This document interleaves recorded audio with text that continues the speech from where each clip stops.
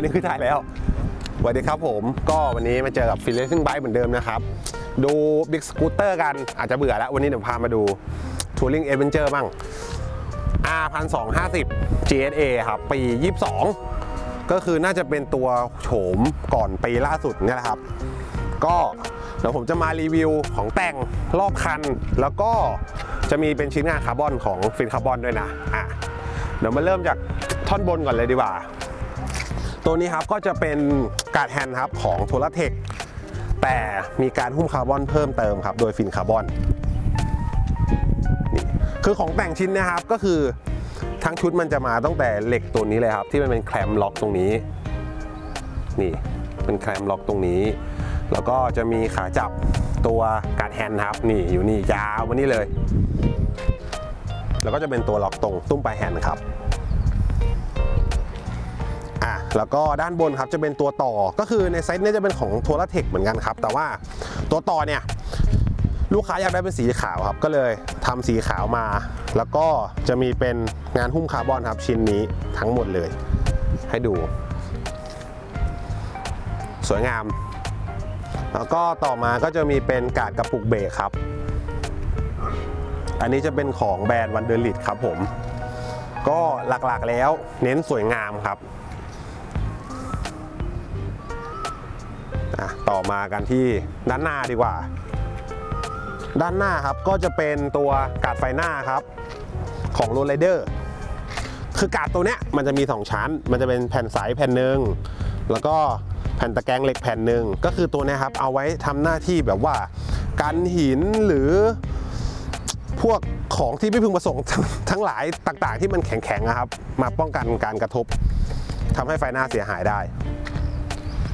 แล้วก็ กาด ไฟเลี้ยวเหมือนกันซ้ายขวาเลยอะต่อมาก็แคดบาร์แคดบาร์นี่ก็เป็นปกติครับไม่พูดถึงดีกว่า แล้วก็จะมีเป็นตัวติดกระเป๋าแต่งครับ นี่ตัวนี้ของวันเดอร์ลิดเหมือนกัน แต่ว่ากระเป๋าอะครับ ตอนนี้ซักอยู่ คือถ้าเป็นตัวติดของเดิมอะครับ มันจะไม่มี หมุดยึดที่เป็นหัวบอลเพื่อติดกับกระเป๋า เดี๋ยวถ้านึกภาพไม่ออกเป็นไงเดี๋ยวอินเสิร์ตภาพให้ดูแล้วกัน ว่าพอเวลาใส่กระเป๋าแล้วหน้าตามันจะเป็นไง แล้วก็จะมีเป็นการ์ดขาตั้งครับผมของ Touratech นี่อยู่ตรงนี้นี่นี่นี่นี่แล้วก็จะเป็นชุดคันเกียร์ครับของ Touratech เหมือนกัน แล้วก็ตีนเป็ดครับของ Touratech เหมือนกัน ก็ถ้าคิดง่ายๆก็เจ้าของคันนี้เหมือนเป็น brand ambassador ครับ ของแบรนด์ลักจักแล้วก็จะมีเป็นฐานแร็คท้ายครับ ของโทรเทคคือตัวเนี้ยข้อดีมาเลยก็คือมันสามารถกางออกมาได้ ถ้ากางออกมาเป็นชิ้นใหญ่ครับ มันก็จะบางคนคือไม่ได้ใส่ปี๊บครับ อยากใส่เป็นกระเป๋าสัมภาระที่มันเป็นถุงกันน้ำเงี้ยลักษณะมันจะเป็นแนวยอแนวยาวพูดผิดแนวยอนอะไรแบบเนี้ยเนี่ยมันมันจะเป็นแนวยาวเสร็จปุ๊บตรงเนี้ยครับมันจะขยายให้มันกว้างออกมาได้ แล้วก็จะมีเป็นการไฟเลี้ยวหลังเหมือนกันครับ แล้วก็จะมีเป็นที่ติดป้ายทะเบียนนะครับของ Touratech ส่วนท่อรถคันนี้ครับก็จะเป็นตัว Akrapovic ครับ slip-on นี่เหมือนน่าจะเป็นตัวที่ต้องสั่งกับทางศูนย์ครับ มีเลเซอร์ BDM มอเตอร์ลาดเลย แล้วก็มีเป็น ชุดคันเบรกครับ อันนี้ก็เป็นของ Touratech เหมือนกัน เสร็จแล้วก็จะมีอันนี้คือตุสายทูริงเนี่ยผมบอกเลยว่าต้องใส่นะ นี่ก็คือเป็นกาดใต้ท้องครับของโทรเทคเลย อันนี้ยยาวมาก หนาวมาก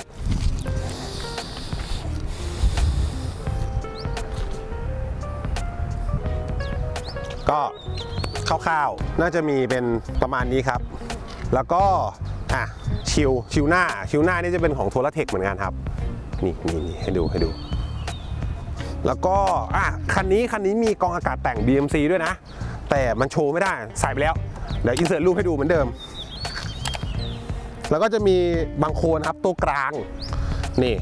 มันคือตัวนี้คือจริงๆแล้ว GS อะครับจะมีแต่บางคนนี้ถ้าเป็นรถเดิมๆนะก็คือจะมีแต่ตัวหลัง แต่นะครับ ลูกค้าสั่งซื้อบางคนตัวต่อกลางมาครับเพื่อที่กันคราบสกปรกดีดเข้าด้านในที่อยู่ตรงโชคอัพครับแล้วก็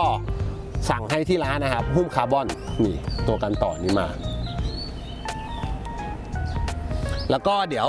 มาติดตามกันครับ เพราะว่าคันนี้จะมีโปรเจกต์ใหญ่ในเรื่องของ fairing ที่เป็น pure carbon เนี่ยประมาณสัก 60-70%เลยในตัวรถ เดี๋ยวไว้เจอกันครับ พอติดตั้ง pure carbon อะไรเสร็จแล้วเดี๋ยวผมเอามาให้ดูใหม่อีกรอบหนึ่งวันนี้ขอตัวก่อนครับสวัสดีครับ